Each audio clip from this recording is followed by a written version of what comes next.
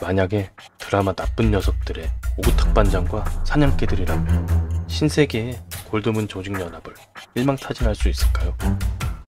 나쁜 녀석들은 천재 사이코와 도포, 살인천부업자를 데리고 오구탁 반장이 악질 범죄자들을 검거하는 비밀 조직으로. 치밀하게 계획을 세워 검거하기도 하지만 전문 킬러 정태수와 조폭 박웅철을 앞세워 조직이던 살인마도 일망타진해버리는 저력을 갖추었습니다.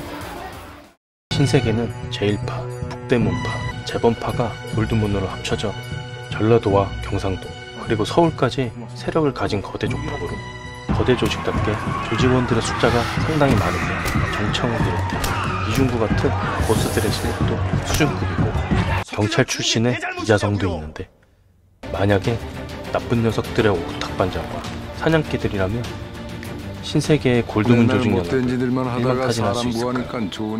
씹어 먹으러들 가자.